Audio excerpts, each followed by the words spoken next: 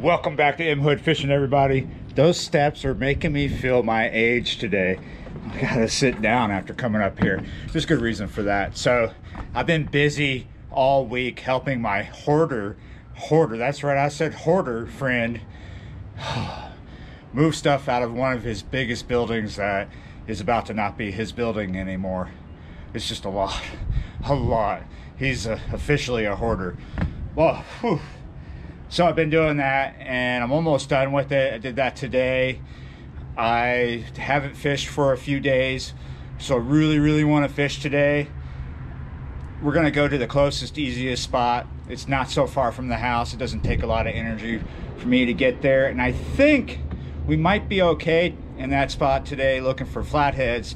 This has been one of those days where the first half of it where I was stuck somewhere else besides fishing I was thinking, oh my goodness, we have the best conditions for flatheads because we had heavy overcast and some rough wind. We still have a bit of a high wind right now, but the overcast isn't so thick. Well, let's go see what's up with that spot. Hi, Fishman. Yeah, you're right. Hi, Fishman. What you gonna catch today? Fish. You wanted to rub it in whose face? Hey, Lauren. I'm on the Fishman's video now. Yeah, you're right. Looks like we have a bit of a cameo rivalry going with those girls, eh? Let's get over here and get some fish. So here we are, the spot that I was at in the last video. Now, a lot of you guys know, but some of you might not know, this is one of my favorite close spots to where I stay when I don't feel good or I don't have a lot of time to fish this is where I might go. There's a few others, but this is one of my favorite ones. Now, in the last video, didn't do so well here. And as you can see, I have these conditions here. It's kind of cloudy. It was much thicker for most of the day. It just recently cleared up. It might cloud up again, but we are here, as you can see where the sun is, in the afternoon, late afternoon. We're here around 5, 20, 5.30, something like that look at the phone later but that's about where we're at here. And sunset is going to be around 6:30. so we have an hour and 20 minutes maybe to fish. Should be able to do something here.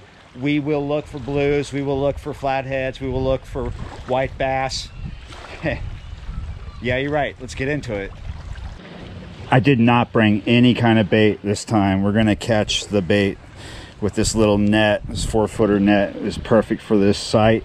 The reason why I would like it to cloud up or at least stay cloud up for all day is because when you have overcast, very thick overcast situations, and you're going after flathead and even white bass as well, because both those fish are more nocturnal than anything. But under really low light conditions, especially if it's kind of rough with flatheads, if you got a rough wind out there, under low light conditions, those fish will become active earlier rather than later.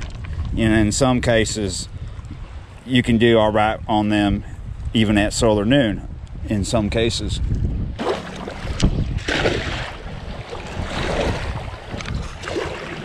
Let's see if there's any bait here. It might be some here. I mean, it's not out of the question. Oh yeah, we got some bait. Look at that, first cast of the net. What do we pick up? Looks like we just got us some mullet. So we're gonna start with cut bait.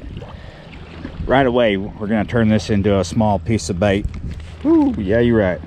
Small piece of bait. As you see, I've cut most of the gut pocket off. And here we got a one aught. We're gonna fish this on a drop shot rig with a little bit of a homemade weight here. This is probably an ounce and a half, guessing. You see, I've only got about six to eight inches underneath the hook. I really don't want more than eight. Six is usually what I like to get.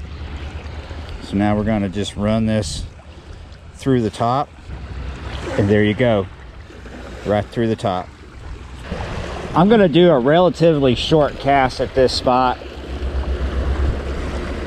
That may be a little longer than what I usually do but about 30 feet. This is a snaggy spot but around 20 or 30 feet from where I'm standing less snaggy I'm gonna spend a little more time trying to get bait. I don't need any more cut bait at the moment, but what I really need is some live shad. I wanna put them under a slip cork. What do you guys think is going on here, huh?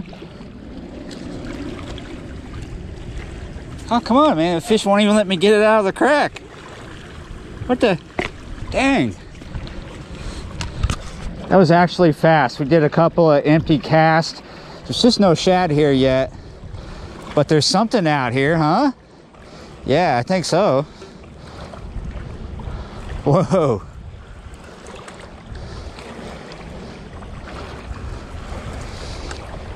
Nice. Let's reorientate my angle here because he's trying to go into rebarb town.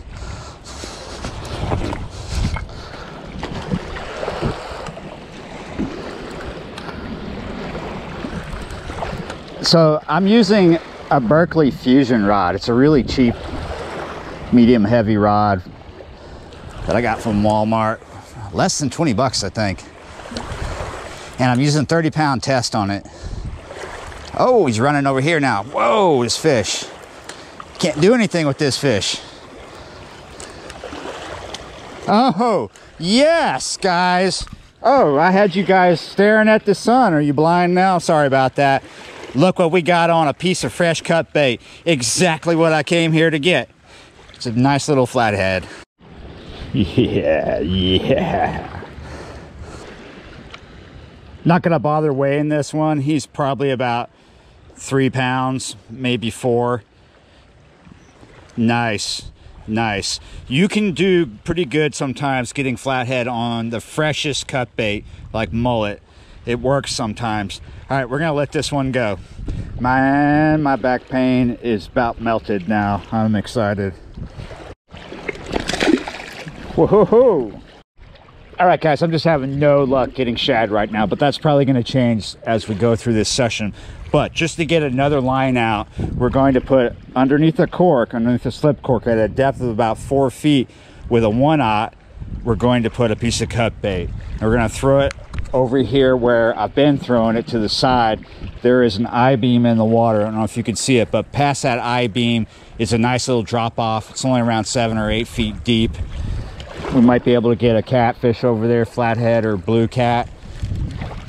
Anything really. We want to bring this bait up to the I-beam. Sometimes the current will do it on its own. And we're gonna have that bait just suspended right at the I-beam because there's this huge concrete pad before the I-beam and there's a space underneath it. I believe there's a space and fish get up under there. So we're trying, we're gonna try and coax a fish out from under that pad. Oh, oh, oh, oh, put this rod down and take care of this. I was putting my cork back in a place. I was repositioning that slip float. Oh. Man, this fish must have went up into something because now we're into a snag. I've walked down the bank to see if I could free the fish and it's still a pretty solid snag. I think that fish is up underneath something. So what I'm gonna do is I'm gonna walk back to my spot, put the rod back in the crack and just wait to see if the fish will come out because sometimes that works. Oh, I think he's out. He's out. I just did. Well, he's pulling, but man, he's still. See that? Let's give him some slack. Maybe he'll work his way out. He must have me wrapped around something. I've been trying to unwrap this fish for over 20 minutes now. I've physically tried. I've just sat and wait, and watched him tug. Then I checked to see if he's free.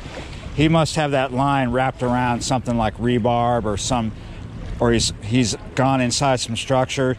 So we're just going to gently pull back, get to the line. We might end up pulling him out of here, but I doubt it. I think we're we're just going to end up doing a sacrifice. Oh no no no no no! Something just freed up.